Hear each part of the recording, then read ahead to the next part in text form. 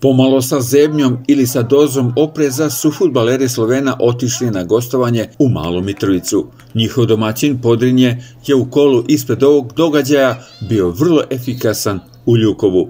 Postigli su tada šest golova i Rumljanima je to bio dodatni oprez. Međutim, sama utakmica je praktično odlučena posle 25 minuta igre. Dva rana gola za Sloven plus isključenje Đorđa Simikića su doprineli da se podenju sa seku krila. Do kraja polovremena je bilo ubedljivih 1 prema 4. U drugom delu meča još jedan gol za Sloven i bio to je ubedljiv triumf Rumljana sa 1 prema 5. Igor Vidović je sa tri gola bio najbolji strelac utakmice. Te golove je postizao u 19.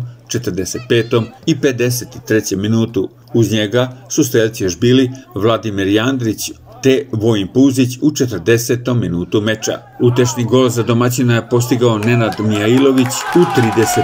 minutu. Ovo nam je bila možda i najvažnija utakmica ove sezone. Imali smo par kikseva, nerešenih rezultata koji su nas doveli da se sve odlučuje u poslednja dva kola.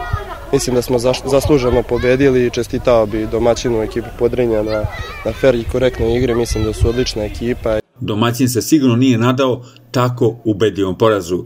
To je trebalo u najavi da bude i derbi kola. Mi smo i ovu utakmicu igrali bez pritiska jer bili sigurni smo tu na tabeli, sredina tabele, on, njima je ovo bila da kažem možda presudna utakmica, ali dobro su ušli u utakmicu, mi smo se tu držali nekih 15-20 minuta i onda smo sa dve nespre, nesmotrene iz dve nesmotrene situacije smo primili dva gola, posle toga crveni karton i onda je za protivničku ekipu ovaj bilo lakše da privede utakmicu kraju. Ispred Slovena u posljednjem kolu je domaćinstvo protiv ekipe Ljukova, a Podrinje će na opštinski derbi u Matince.